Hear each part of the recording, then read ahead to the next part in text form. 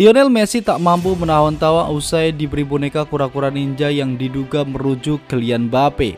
Momen tersebut terjadi ketika Messi dan kawan-kawan berada di atas mobil parade juara Argentina yang sukses menangkan Piala Dunia 2022.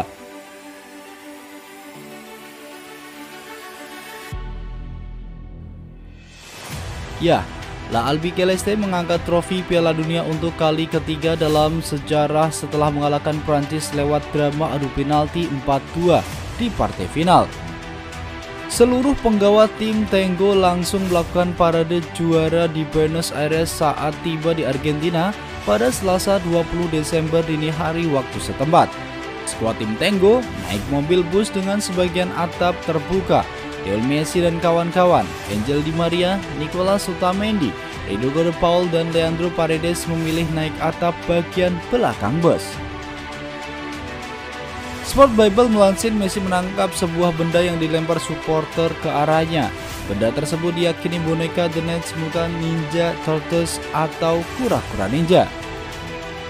Entah dari mana muasalnya, selama ini wajah Kylian Mbappe memang sering disamakan dengan salah satu karakter Ninja Turtles, Michelangelo.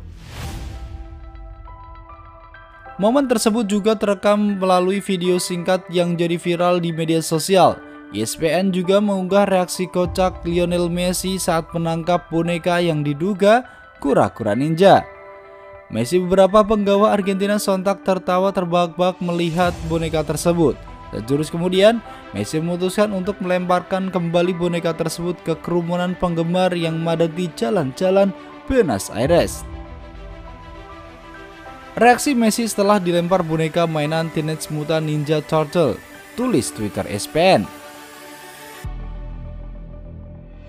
Melihat kejadian itu, bukan tidak mungkin terjadi keributan di dalam ruang ganti PSG. Sebab kedua pemain yang menarik perhatian di Piala Dunia 2020 tersebut berada di satu tim yang sama.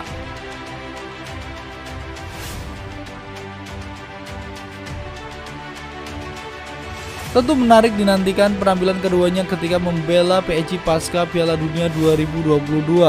Apakah akan bisa bekerja sama dengan baik atau justru sebaliknya? Babe sendiri sukses mencetak hat-trick untuk menyamakan skor menjadi tiga sama di laga final. Namun sayang, gol yang dicetak bintang PSG itu tak mampu menyelamatkan wajah Prancis dari kekalahan di babak adu penalti. Dari kalian, gimana nih dengan momen Messi ketawa ketika dilempar boneka kura-kura ninja? Berikan pendapat kalian di kolom komentar.